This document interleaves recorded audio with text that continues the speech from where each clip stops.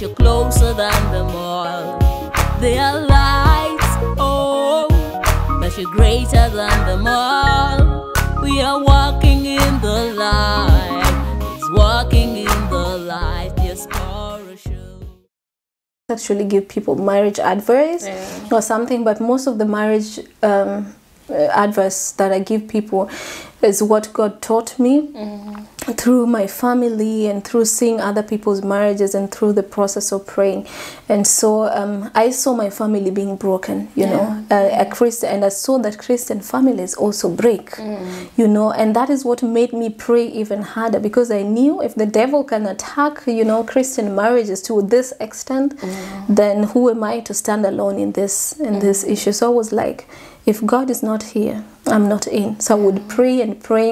And the things that I saw happening in, in, in, in my family setting, I was like, God, I don't want this. I mm. don't want this. I want something new. Mm. And I don't want to continue, yeah, with this this process that the mm. enemy is now is now putting in this love. It was a heartbreaking moment because you know, I'm in Germany and then you hear all of a sudden, you know, things are tearing apart at home. I would cry on the streets, you know. Mm. I would walk and cry and pray and pray and say, God, I prayed for three years. I don't know for how you things are not happening, you know.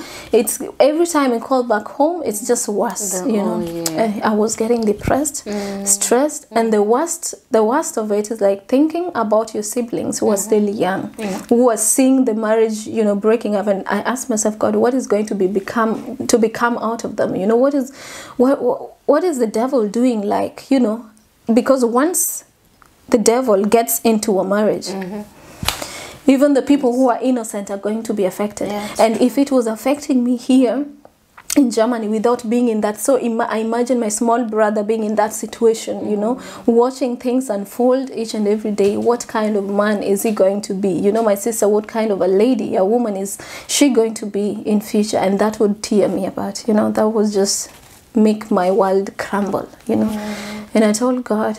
If, if this is the kind of and I would see the mistakes that were in that relationship, the things that were happening, and I would tell God, I don't want this kind of monster. Give me another one, you know. And so that is why I, I talk about marriage and I tell people this is this is one one thing in life that you need to pray like your world is coming to an end. Wow. That like like it's you know I prayed like the world was coming to an end. I oh, fasted like you know the world was coming like this was the only thing because I knew once you get married it's, for a lifetime um, It's and you get yourself in there and you don't know what you're going to get mm. and it, in case you get with someone who is the opposite of god's you know plan for you that's that's your That's it. that's that's it for Your you you know that's it you know Yeah. So um, we've talked about marriage. Hmm. Um, you know, nowadays people don't want to wait. Hmm. What can you tell them? Like they feel like waiting is outdated, Hmm. and they have like multiple relationships, um, Hmm. no more self control. What can you tell them? Waiting is, is also a gift from god. Mm-hmm. So you ask for it because it's it's it's a hard time but it's precious because it's going to everything that you're going through god is going to turn them into something good. So that period of waiting is not a wasted time. That is what i can tell you. Mm. That is a period where you get to develop yourself you develop your character. God is teaching you a mm. lot of things and it's not a wasted time. So uh, be patient and be humble to wait. I know it's not easy. Personally, I'm not a um, I'm not a patient person, you know. But God taught me through this uh, through this uh, process that you need to be patient in life. You need to wait. There's some things you just can't get them on a silver platter here.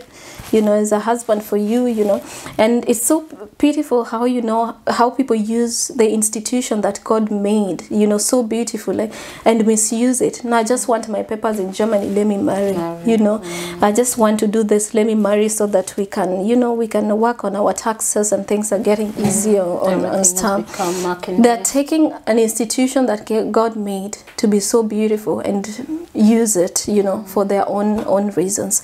And this is the most painful part because marriages are the most attacked, you know, in on this earth and the devil knows that when he attacks marriages he comes to the root to you know, to destroy the, the whole society Yeah. because when you attack a marriage you, you are destroying the society in it how many kids are we do we know nowadays that are coming from broken marriages. Do you see how they end up? Ma- mm-hmm. many of them many of their lives don't you know don't go like Have straight according to direction, you know the way god channeled their way to be. But many of them you know get discouraged in life get depressed get into the same you know Cycle. muster mm-hmm. cycle so that things are not working out and it's it's depressing to see mm. what is happening in this world today. So I think waiting is, is very important mm. because if you had if God had you to wait for just one year or two years or three years for you to get a beautiful life, would you trade it for not waiting and have your life messed up? No. Some even end up killing themselves because they get into wrong uh, wrong relationships. Relationships. True. You know. So, um, you have, I mean, have you ever been to a situation where you feel, okay, I've come to the end of me? And how did you overcome it? I think I've come to that situation many times, you know, when I was studying, you know, things were so tough. Sometimes you go, you know, you're working so hard, also you're going to class and you're trying to, you know, you're trying to fit into the German system, it's not working so well. And also there's there's discrimination in, in, in the universities and schools that we go to, you know. I, I remember in, in class, like when we we're doing a group work or something, people would you would see foreigners being in mostly one group. The Germans, you know, they isolate themselves, you know, and so mm-hmm. you would really wish to belong, but you don't belong, and so you would get frustrated. You would get frustrated. Those are the points where I get back home, I cry myself to to sleep. I cry and cry. And I say, is it worth it? But still, you wake up in the morning. You know the strength that the Lord gives you, the hope that that God gives you, is what kept me. God kept me moving. You know, and sometimes when I realized I couldn't take it anymore, I would just listen to when I can't pray, I can't do anything. I will call on friends and tell them pray for me. And I would also, you know, just listen to music that would, you know, calm me down, that will give me hope. Because most of the uh, most of the people when they're in such kind of a situation they run to alcohol they run to you know um, um, sex they run to things that you know they will give them pleasure but just temporary you know but if you run to god that is that is the best place to be. So i used to run to true. god mm-hmm. and i pray and um, i just wait patiently and things. You see god changing things one after the other. So the process of trying to establish yourself in germany is not easy. Mm. So many people are depressed on this way. There were so many ways that i would just so many days i locked myself in a room and i was just there inside there. Mm-hmm. You know sleeping crying you know like depression to it. You know people don't like talking about depression but so many people are depressed you know. You lock yourself in there and start to cry and i just want a dark dark room. I can sleep and cry and you know. But then when i started um, knowing my walk with god that god is there with me and walking with him. So i started doing the opposite. When i'm stressed out i switch to praise and worship you know. I pray uh, I switch to prayer or when i can't I call people, please pray for me. I text people all over, please pray for me. Before I know it, you know, I'm okay. Okay, wow. The prayers of others, Amen. you know, will also help you through your hard times. Yeah. Amen. Amen. So, um, before uh, we come to the end of this, we, I have two more questions.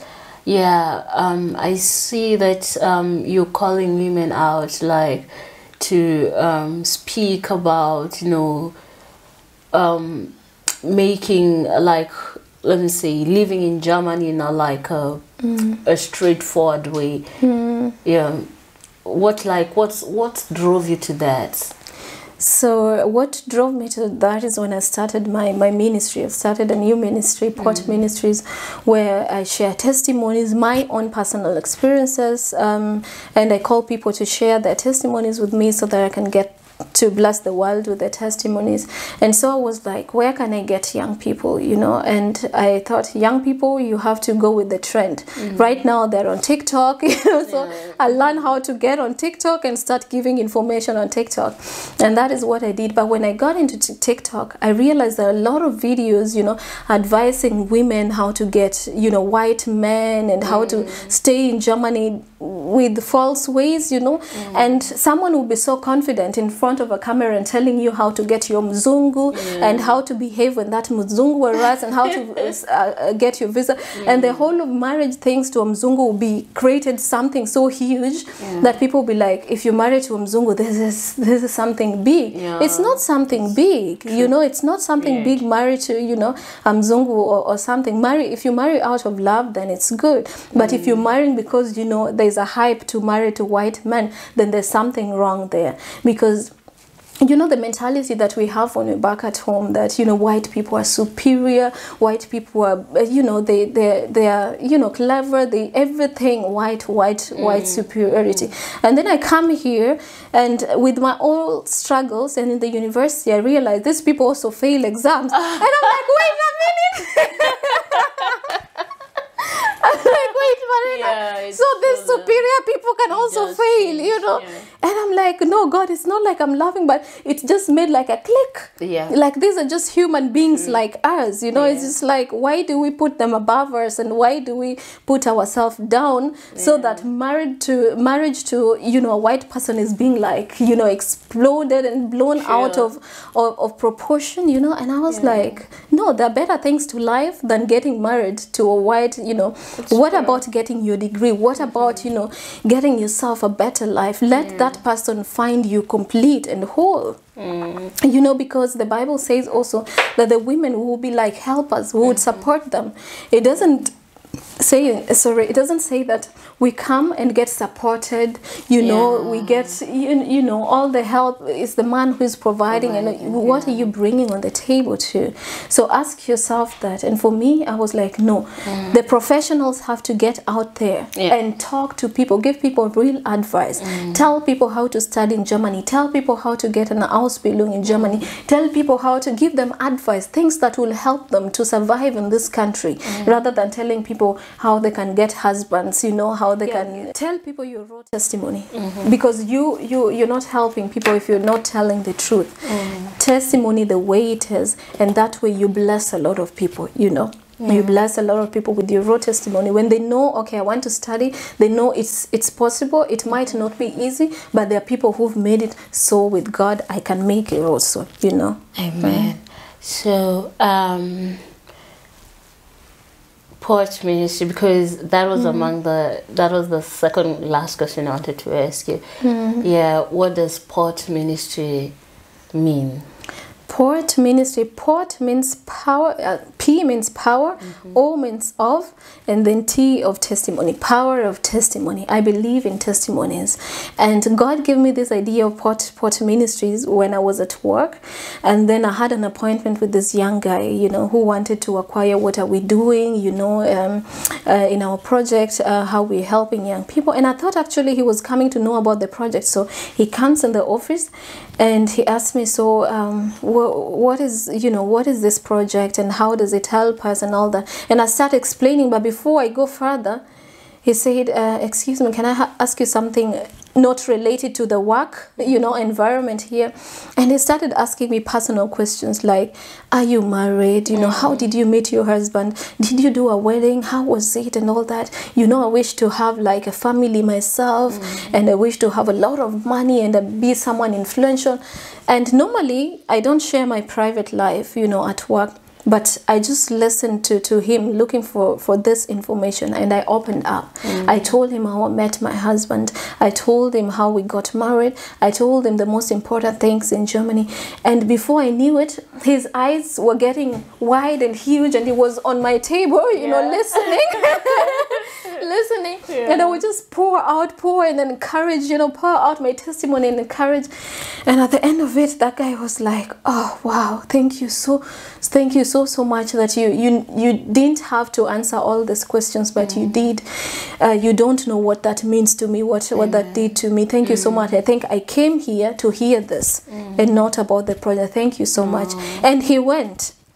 I told him this is not for you. This mm. this here you can be someone you know someone better in life. There are opportunities out there and go for it. Believe in yourself. Power of testimony. And I talked to him for hours until my colleagues were like, "What are they talking about? This meeting is taking Yeah. so long."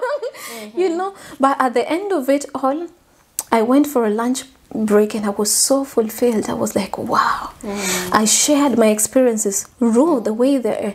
And that guy was so blessed. And I was like, this is it. People need to share their testimony. like, there's no way we just be, you know, gathering, you know, experiences and then we just go on our lives. You need to share.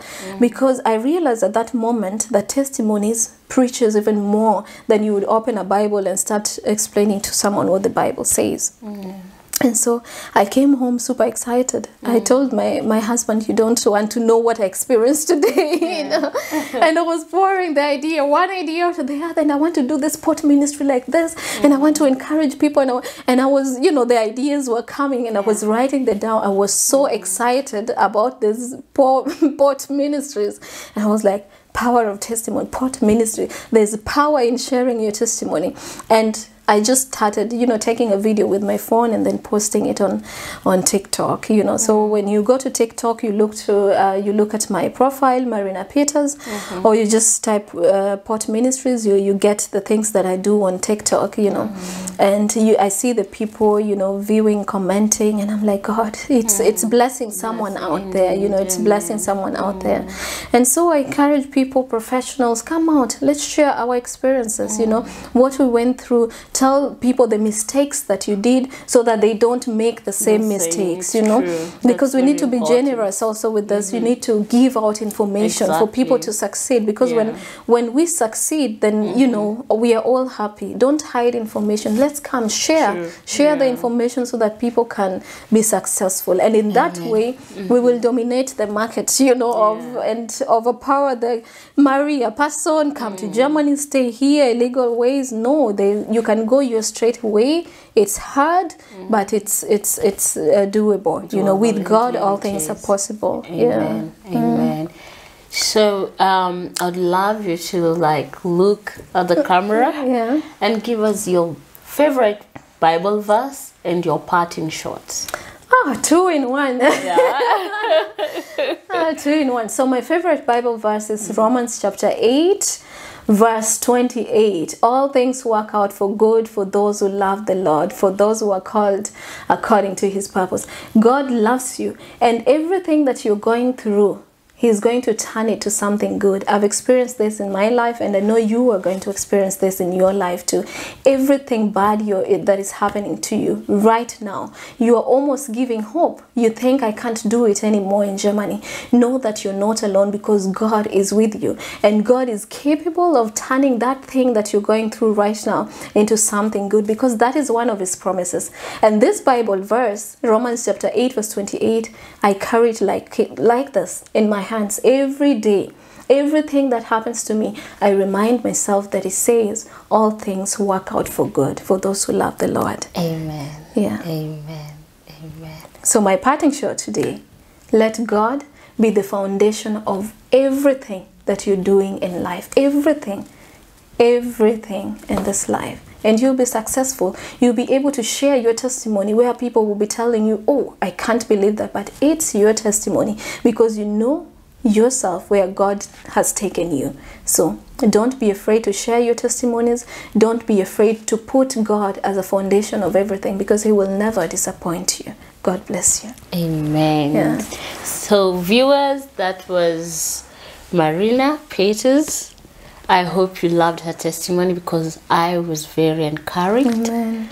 And uh, what I learned, I mean, is do not compromise. Yeah, you don't have to compromise. And then God being at the center. As long as you put God at the center, He'll always be there for you. Thank you for your time. Welcome. I really appreciate it. I know you're a busy person, and setting out this time to um, come for the interview means that you really have that heart for God and heart for people, and also taking your time out of your Sabbath. Mm. I'm really, really humbled, and thank you to your husband too. Mm. And God bless you both. Thank you. Amen. Okay, and don't forget, please check her details on Yeah. TikTok. We'll leave all the links here. Bye. Bye. God bless you. Walking in the light with the Lord on my side. I don't fear no evil with the Lord on my side. You're the fountain of life in you. We see light in your light. We have hope in your light. My life shines. Death cannot defeat us. Depression cannot hold us. Greater is the light. No evil shall prevail. Walk with my head up. Fear is